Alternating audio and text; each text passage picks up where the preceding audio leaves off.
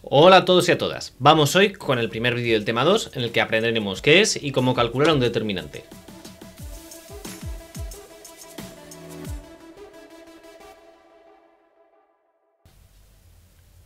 Vamos allá. Vamos a empezar desde el caso más sencillo, que sería el determinante de una matriz 2x2, y luego lo iremos complicando al de una 3x3 y a cómo calcular en general el determinante de cualquier orden. Vale, lo primero de todo es ¿qué es un determinante? Pues un determinante es un número asociado a una matriz. No nos vamos a meter a hablar que si del grupo de permutaciones, que si de permutaciones antisimétricas, todo eso lo dejaremos para álgebra en la carrera. Bien, pues entonces, ese número, ¿cómo lo denotamos? Pues vamos a calcularlo y cuando lo calculemos haremos entre el valor absoluto de la matriz o det de A, de esa matriz. Y ojo, solo podremos hacerlo de matrices cuadradas, es decir, de matrices que tengan el mismo número de filas que de columnas. Así que el caso más sencillo es una matriz de dos filas, dos columnas. Lo que veníamos diciendo que era una matriz 2 por 2 Pues el determinante de esta matriz se calcula multiplicando los elementos de la diagonal principal y restándoselos a la multiplicación de la diagonal secundaria. Diagonal secundaria que sería como la diagonal perpendicular a la principal. La principal, que era la que definíamos, donde están los elementos que tienen el mismo número de fila que de columna. Vamos a ver un ejemplo, que esto, para que esto sea un poco menos abstracto, pues vamos a hacerlo multiplicando los elementos de la diagonal principal y si los restamos a los de la diagonal secundaria, tendríamos 2 por 4 menos 3 por 5, que 2 por 4 es 8, 3 por 5 es 15, así que será 8 menos 15, que es menos 7. Estupendo, ¿vale? Y si nos queremos complicar un poco más, si queremos hacer una matriz 3 por 3, pues entonces también vamos a hacer multiplicaciones de la diagonal principal y de la diagonal secundaria, pero el caso es que quedan más términos. Multiplicaremos la diagonal principal y términos de la diagonal secundaria. En, en concreto, este, las multiplicaciones, las combinaciones que tenemos que hacer, vienen de la regla de Sarrus, que vamos a calcularla de la primera, de la siguiente manera. Es decir, del mismo modo que en el caso 2x2, vamos a multiplicar entre sí los elementos de la diagonal eh, principal. Y luego haremos multiplicaciones eh, de términos paralelos haciendo estos triángulos. Bien, o sea, lo primero sería 1 por 2 y por menos 1, que nos quedaría menos 2, 3 por 6 y por 3, y luego 4 por 2 y por 1. Y luego vamos a coger y vamos a restarle todos los términos que sean paralelos a la diagonal secundaria. Vamos a coger, voy a reescribirme el determinante de nuevo, que sería 1, 2, 3, 3, 2, 1, 4, 6 y menos 1. Y haríamos de nuevo la multiplicación de los términos de la diagonal secundaria. Y a su vez, líneas paralelas, cogemos el que nos falta, paralela y cogemos el que nos falta. Así que esto sería 4 por 2 y por 3, más 6 por 1 y por 1, que es 6, menos 1 por 3 y por 2, que nos quedaría menos 6. De modo que el determinante de esta matriz sería menos 2 más 3 por 6, que es de 18, y 18 por 3, que es 36. Eh, mm, mm. Bueno, o 6 por 9, que sería equivalente, 6 por 9, que sería 54 más 4 por 2 y por 1, que es 8, menos 4 por 2 y por 3, que es 8 y por 3, que es 24, más 6 y menos 6, que nos quedaría 0. Bien. Pues entonces sería menos 2 más 8, que es 6, que 6 y más 54, que es 60, menos 24. 60 menos 24, que sería 36. ¿Vale? Una forma equivalente de la regla de Sarrows, si no la, si no la veis, por ejemplo, sería cogernos y este esta matriz, escrita como ya el determinante de la matriz, con las dos rayas puestas aquí, que indican que estamos calculando el determinante de esta matriz, y copiarle las dos primeras columnas, que sería 1, 3, 4, 2, 2 y 6. Y estas combinaciones de filas y de columnas, pues las podemos hacer tomando directamente paralelas a cada una de las diagonales. La primera sería igual, la segunda combinación de elementos sería esta, y la tercera sería esta otra. Como veis, estamos multiplicando los mismos. estaríamos haciendo el 2 por 1 y por 4, que es el que sale aquí, y el 3 por 3 y por 6, que es lo mismo que sale aquí. Y haríamos lo propio con los términos de la diagonal secundaria. 4 por 2 y por 3, 6 por 1 y por 1, y menos 1 por 2 y por 3, que es lo que salía por aquí. De cualquiera de las dos maneras, esas son las combinaciones de elementos que tenemos que hacer eh, cuando calculamos el determinante de una matriz 3x3. Ok, vale, ¿y qué pasa si nos vamos al de y queremos calcular el determinante de una 4x4? Vale, pues en este caso no existe una regla de Sarrus, no existe una regla mnemotécnica que me diga las combinaciones, sino que tenemos que ver un método general que es el método de desarrollo por adjuntos. Pero si vamos a desarrollar por adjuntos, antes tendremos que ver qué es un adjunto. Así que, bien, lo primero de todo es definir qué es un menor complementario. Un menor complementario es un trozo más pequeño de una matriz. ¿Y cómo sacamos ese trozo? Pues lo que hacemos es eliminar una fila, eliminar una columna y hacer el determinante de la matriz que haya quedado. Por ejemplo, tenemos esta matriz de aquí y yo quiero calcular el menor complementario 1, 1, que es el determinante de lo que me sale de eliminar la fila 1 y la columna 1. Vamos a verlo en la pizarra. Bien, yo tengo esta matriz de aquí y quiero calcularme el menor 1, 1, que es el determinante de lo que me sale de eliminar la fila 1 y la columna 1. Total, que yo daría el determinante de esta matriz de la matriz 1, 3, menos 1, 1, que es la que me sale de eliminar la fila 1 y la columna 1. Entonces, que en este caso es diagonal principal, 1 por 1 que es 1, menos la diagonal secundaria, que sería menos menos 3. 1 menos menos 3 nos quedaría 1 más 3, que es 4. De lujo.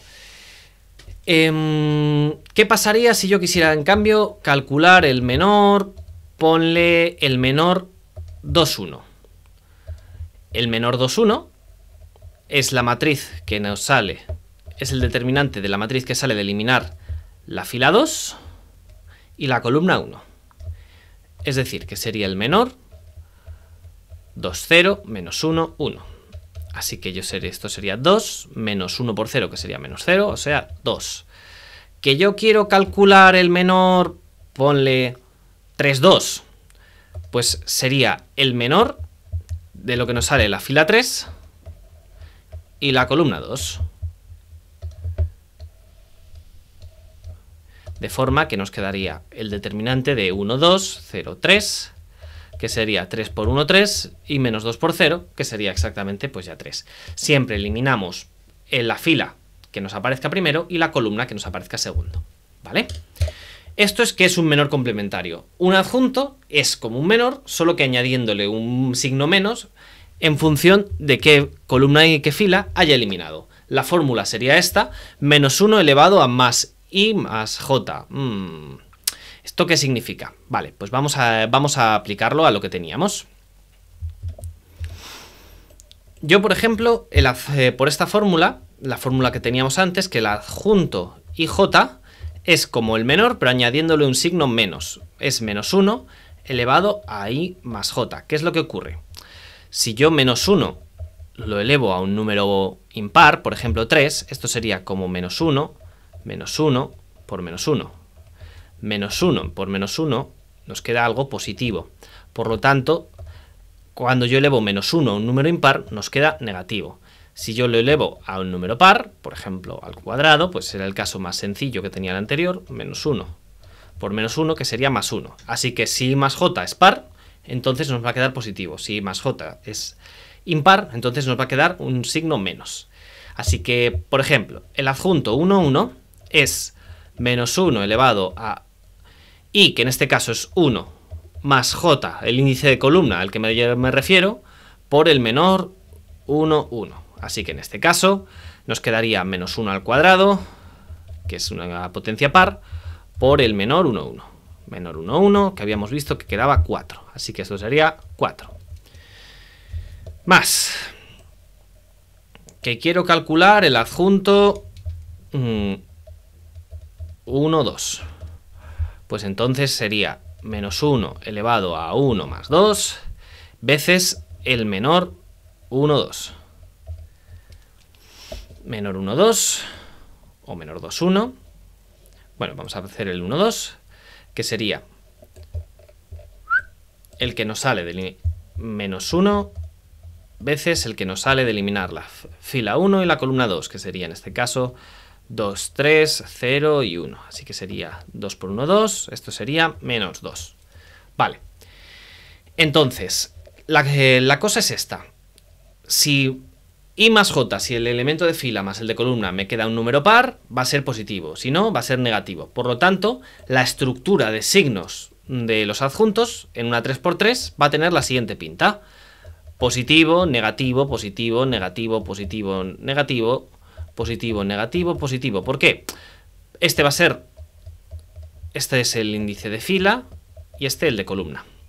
Fila 1, 1, 1 más 1 nos quedaría positivo. 1 más 2 nos queda 3, que es impar, entonces va a salir negativo. 1 más 3 nos quedaría positivo. 2 más 1 nos quedaría negativo. 2 más 2 positivo. Y así, un poco con todo. De esta manera, cuando yo desarrolle por adjuntos, si elimino, por ejemplo, el de la fila 1 y el de la columna 1, nos va a quedar positivo. Cuando yo desarrolle el de la fila 1 y el de la columna 2, nos va a quedar negativo. ¿Vale? Esto es un adjunto. Un menor, lo único que añadiéndole un menos en función de qué fila y qué columna haya eliminado. Pues entonces, ¿en qué consiste el método de desarrollo por adjuntos? Pues lo que consiste es que yo puedo cogerme un determinante y reducirlo en la suma de los adjuntos de una fila o de una columna. ¿Esto qué significa? Que yo me puedo coger un determinante, pillar una fila, por ejemplo, y sumar los adjuntos que me salen de desarrollar cada fila y cada columna.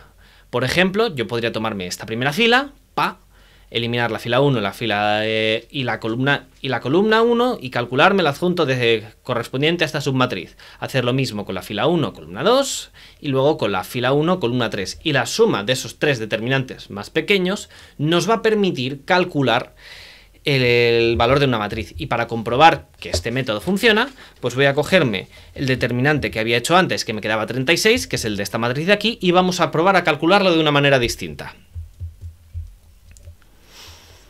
Además, tendremos eh, eh, una cosa que se me había olvidado mencionar, es que tendremos que multiplicar por el número que lo desarrollamos. Es decir, el método de adjuntos consiste en, cogemos el número que haya en, en una fila, una columna, y lo multiplicamos al adjunto que nos queda el signo más o menos en función de si ese estamos en algo positivo o negativo, en este caso sería por más 1, veces el menor, el menor complementario, que sería 2, 1, 6 y menos 1. Luego, cogeríamos e iríamos al... Vamos, y cogemos el segundo número más dos veces y lo multiplicamos por el adjunto, que en este caso, recordemos con la estructura de signos que teníamos aquí, nos iba a quedar un menos. Así que esto sería por menos una vez el adjunto 1, mm, 2, es decir, el que nos sale por eliminar la columna 2 y la fila 1. En este caso, 3, 1, 4, menos 1. Y lo mismo con la tercera, que sería 3 por el adjunto eh, lo diré tres veces, el, adjunto 1, 3, es decir, el que nos sale de eliminar la fila 1 y la columna 3, 3, 2, 4, 6. Y eh, de manado que esto es 1 por 1, que sería 1, y esto sería 2 por menos 1, que es menos 2 y menos 6. Menos dos veces, menos 3 y menos 4. Más 3 veces, 3 por 6, que es 18, menos 4 por 2, que es 8. Y desarrollando todo esto, pues nos va a quedar menos 2 menos 6, que es menos 8, menos 3 menos 4, que es menos 7, al multiplicarlo por menos 2, menos por menos más y sería más 14, y aquí nos quedaría 18 menos 8, que es 10, por 3, que es 30, así que nos quedaría menos 8 más 14, que es más 6, más 6 y más 30, que nos queda 36. Es decir, es una forma completamente equivalente de calcular determinantes, nos queda igual.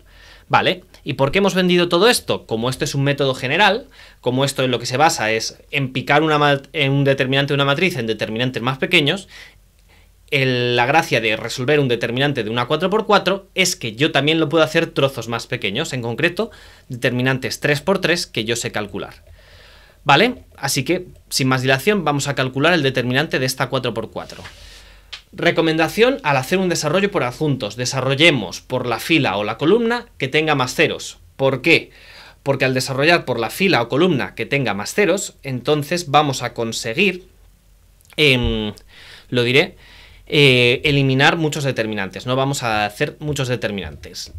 Antes de empezar, ¿cuál sería la estructura de los signos de los adjuntos en este caso?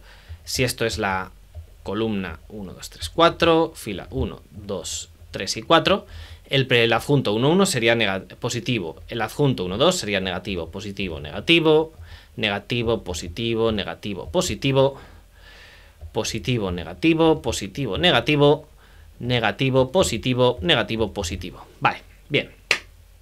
Total.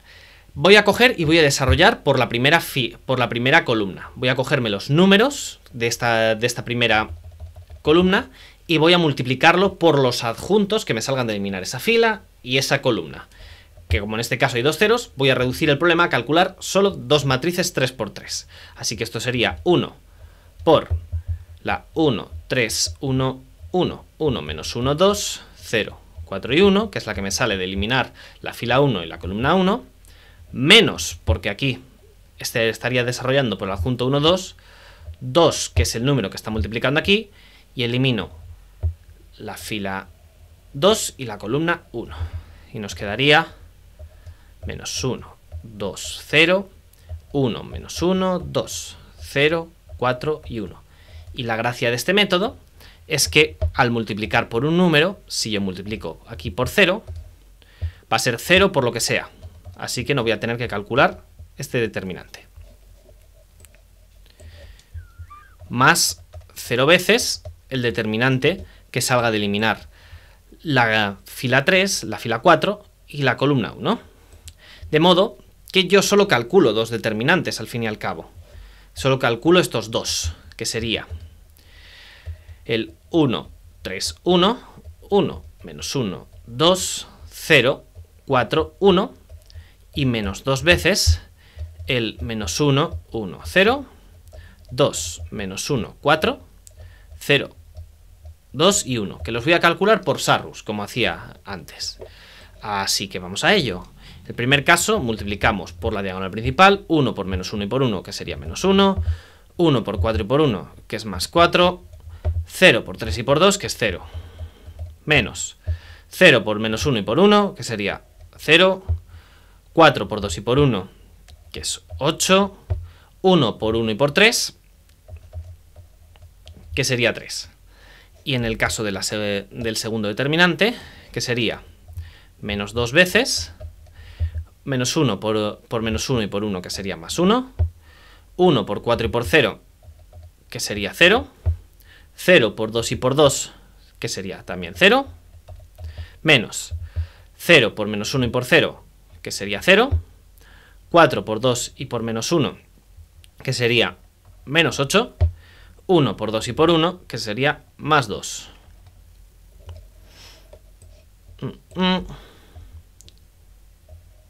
Vale, total, que esto nos quedaría menos 1 más 4, que es 3, menos 8 más 3 que es 11, menos 2 multiplicando a 1, menos, menos 8 más 2 sería menos 6, menos menos nos quedaría más 6, de forma que esto sería 3 menos 11, que es menos 8, menos 2 por 7, que sería menos 14. Y en definitiva nos quedaría menos 22, este determinante, ¿vale? Recapitulando, ¿qué hemos hecho aquí para calcular el determinante de esta 4x4? Pues lo que hemos cogido ha sido desarrollar la, cada uno de los elementos de una columna, en este caso la primera columna, por adjuntos, que en lo que consiste es en pillar el primer número del elemento y multiplicarlo por el adjunto, que es lo que nos sale de eliminar una fila y una columna, y añadirle un menos en función de en qué fila y columna estemos. Las filas y columnas cuya suma sea par, positivo la fila y columna cuya suma sea impar, negativo. Y así conseguimos resolver, el, lo diré, convertir el problema de calcular un determinante 4x4 en una serie de problemas más sencillos que sí sabemos resolver. Y este, por tanto, es un método general para hacer determinantes 5x5, 6x6 o los que sea, porque los iremos reduciendo progresivamente a determinantes que sí sabemos calcular, hasta llegar, pues eso, a unos determinantes 3x3. Y con esto lo que quería ver de hoy. Vamos a repasar un poco lo que hemos aprendido. Hemos empezado calculando determinantes 2x2, que decíamos que se hacían calculando la diagonal principal menos la diagonal secundaria, como veíamos aquí en la pizarra. Luego íbamos a los determinantes 3x3, en los que eh, aplicábamos la regla de Sarrus, que era una combinación de elementos que la podíamos ver como triángulos o escribiendo las dos columnas y haciendo paralelas a las diagonales. Finalmente, vendíamos que era un adjunto, que es lo que nos sale de eliminar una fila y una columna y multiplicarlo por menos 1 según proceda, esta sería la estructura de signos en una 3x3, esta la de una 4x4, y calcular el determinante de lo que nos haya salido de eliminar la fila y la columna. Y veíamos que desarrollando por adjuntos podíamos calcular una 4x4, pero no únicamente, podríamos calcular el determinante de una matriz lo compleja que quisiéramos. ¿Qué aplicaciones tienen los determinantes? Pues una de ellas es la matriz inversa, pero para eso nos vemos en el próximo vídeo. Mucha suerte y mucho ánimo hasta entonces.